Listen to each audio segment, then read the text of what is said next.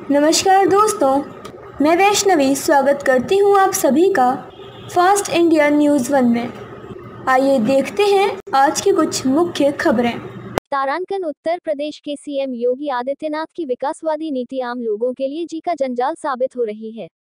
जनपद महोबा में कानपुर सागर राष्ट्रीय राजमार्ग किनारे वर्षों से बसे लोगों के खिलाफ चलाए जाने वाले अतिक्रमण अभियान को लेकर जनता के बीच खासा रोष दिखाई दे रहा है। गरीब परिवारों ने डीएम महोबा की चौखट पर पहुँच न्याय की गुहार लगाई है। फरियादियों को भरोसा देते हुए जिलाधिकारी सत्येंद्र कुमार ने समस्या को जल्द निस्तारित कराए जाने का आश्वासन दिया है।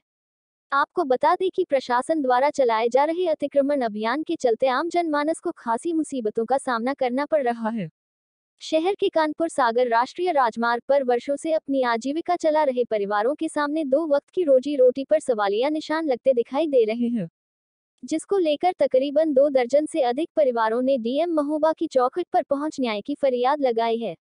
परिवारों ने जिलाधिकारी महोबा से मुलाकात कर समान रूप से कार्यवाही किए जाने की मांग की है। साथ ही साथ उन्होंने किसी अन्य स्थान पर ज़मीन मुहैया कराए जाने की अपील भी की है। हम लोग साहब, दुकान की समस्या है, हम लोगों को हटाया जा रहा है, हम लोग वहाँ बहुत दिनों से रह रहे सबका पेट पल रहा।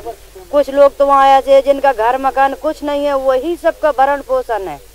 बहुत ऐसे परिवार है जो वही मतलब उसी का घर है, वही दुकान, उनका उनका भरण पोषण वही होता है। अगर हम लोग भगा देंगे तो हम लोग जाएँगे कहाँ? रहेंगे कहाँ? खाएँगे क्या? करेंगे क्या? तब साहब ने के पास आए थे तो साहब ने ये कहा कि हम आपका देख लेंगे, सर्वे करवा लेंगे वहाँ। अगर आपकी हद में नहीं हमारी आती है तो आपको वहीं रहने को दिया जाएगा। अगर हद में आती है तो आपको टाइम दिया जाएगा कि इतने टाइम का है। तो फिर देखेंगे। सर, हमारी समस्या ये है कि हमारी दुकानें हटाई जा रही हैं।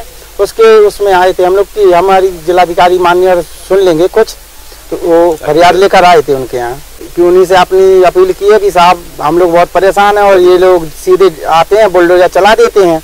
तो हम लोगों का बहुत क्षतिग्रस्त होता है और हम सीमा से बहुत दूर हैं। तब भी वो लोग नहीं तो जिलाधिकारी साहब ने कहा कि चलो हम कर वहीं पर वो करेंगे मुआयना सर, हमारी समस्या यही है कि हमारा पेट चलना चाहिए, हम लोग गरीब आदमी हैं तो उस हिसाब से हमारी यही समस्या है। कहाँ पर जाएँगे, कहाँ रहेंगे? आज के लिए बस इतना ही। कल फिर होगी आपसे मुलाकात। ऐसे ही कुछ खास और बड़ी खबरों के साथ। तब तक के लिए देखते रहिए फ़र्स्ट इंडिया न्यूज़ वन